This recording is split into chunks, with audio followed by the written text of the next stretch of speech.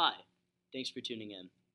Today we are going to discuss the issue of Edward Cornwallis and his controversial title as the founder of Halifax. So, who exactly was Edward Cornwallis? Well, born in London, England in 1713 as the youngest of six, this nobleman began his career in the military.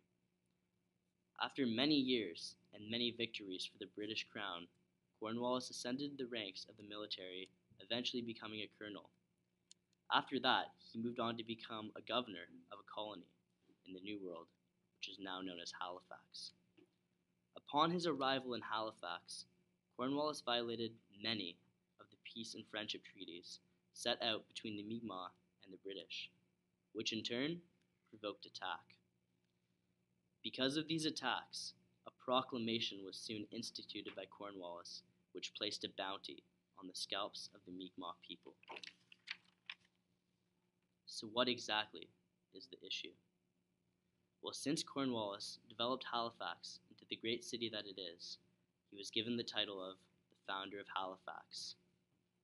Now, that history is being looked upon with more scrutiny, and because of this, many people have realized that Cornwallis does not, in fact, deserve that title.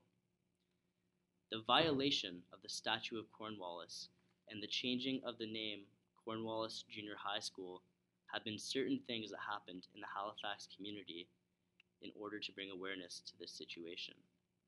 So, what is a possible solution?